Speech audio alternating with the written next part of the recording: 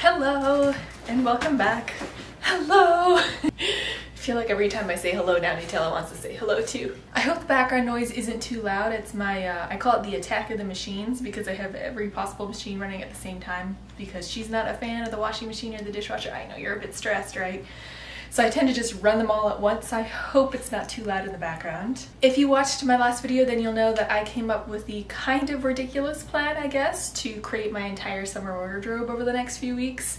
And this will be me making my first piece. So I can finally stop wearing my pajamas all day. The pajamas are very comfortable, but I am ready to start wearing real outdoor clothes again. The first clothing item I am starting with is going to be my camisole top. I found this corset cover, I guess, that's from, I would guess, the Edwardian era slash 19 teens. So using that as my base inspiration, I then went and I looked at the antique pattern library or antique reference pattern reference I forget the name, I'll put the link in the description. It has antique patterns not just for knitting and crocheting, but a bunch of different things all for free and available online, which I love as PDF versions. And I found this one particular book from the 19 teens with a crochet yoke in it that I just couldn't get out of my mind. So I decided that that would be the yoke that I would use to reproduce this camisole top. I also have some cotton fabric left over in my stash that I'll use to make the body portion below the yoke. I have all the materials, I have my pattern, and I am going to go ahead and get started with my crochet. As the pattern recommended, I used crochet cotton number 50 cotton thread, and it is the smallest cotton thread that I've ever used, and I used my 0.6 millimeter crochet hook, which I've used one time before this. As I was working on my project, I relied heavily on my magnifying glass when doing this work just because it was so small to see. I'll leave a link in the description if you are also interested in getting a magnifying glass like this. What's great is I can also work at night because it has a light that surrounds the magnifying glass. So I find this very, very useful when working on small and delicate things like this crochet yoke. I think what made this particular pattern for yoke stand out to me is that it included some crocheting techniques that I've used before, and that is the filet crochet. The medallions are 6x6 filet crochet background pieces, which seemed a lot less intimidating than some of the more intricate crochet designs that I've seen. I don't feel like I quite have the techniques down yet to try some of the more intricate patterns. As you can see here, I am nearly done with the first medallion of 6x6 filet crochet squares and then what you do after that is you go around the pattern piece with a double crochet. Now I believe this is a UK crochet instruction double crochet.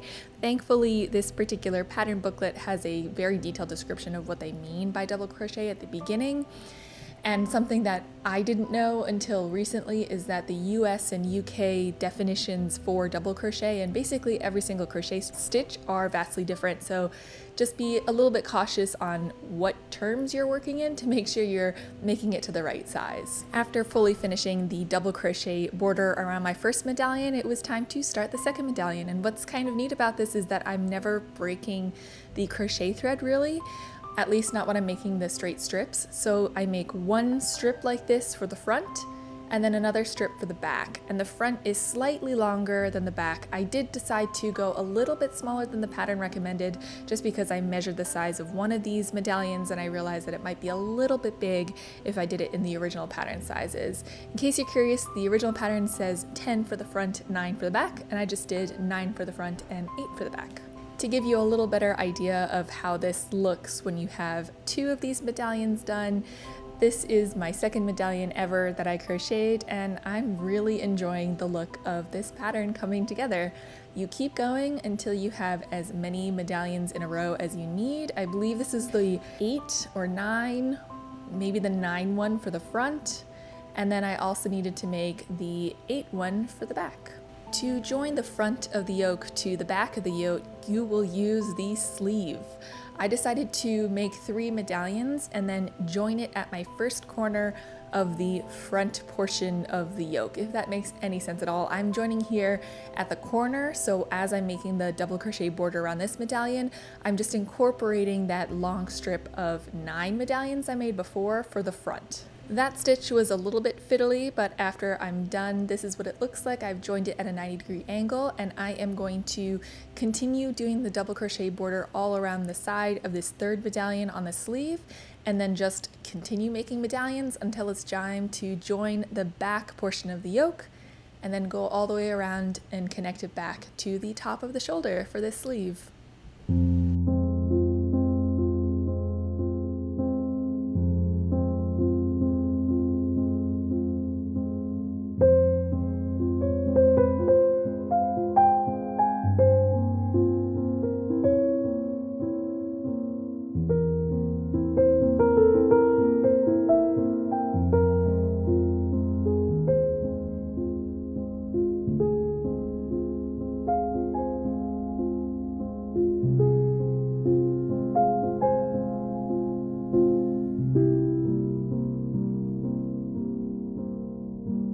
After some concentration and time and making sure I didn't twist any of my medallion chains, my first sleeve was attached to the front and back of my yoke and I was incredibly happy that I was finally able to try on a portion of this top. Before adding the second sleeve, it is recommended in the pattern that you add the rest of the decorations to the first sleeve, and I thought this was a good idea to give myself a little bit of practice on these three border stitches. The three rows aren't so involved, but I think that they add a lot of detail and a lot of like intricate uh, extra to the design of the yoke and I really like how it turned out. It really didn't seem all that difficult, but I feel like it added a lot of extra character to the yoke. After finishing the three border edges on my one sleeve, I then did all of the same work for the second sleeve, attaching the front, the back, and doing three border trim rows. And I finally had a yoke with two sleeves that I could try on with some really nice border detail on the sleeves. I wanted to try it on at this point because I was a little bit curious about how much extra ease I had given myself in the front and the back. I did want to create a little bit of a gathered effect across the front of this top like I saw in the example and I was a little worried that it might have still made it a little bit too wide at the front but I decided to keep going at this point anyway and add the three border crochet details to the front and back of the yoke as well as across the shoulders. Interestingly enough, when I added the extra border details to the front top and bottom of the yoke, it really kind of pulled it together a little bit, which I was glad at the time, but looking back, maybe I would have added a little bit more ease just because it allows for a little bit more of the gathers to happen when you attach the cotton portion to this top.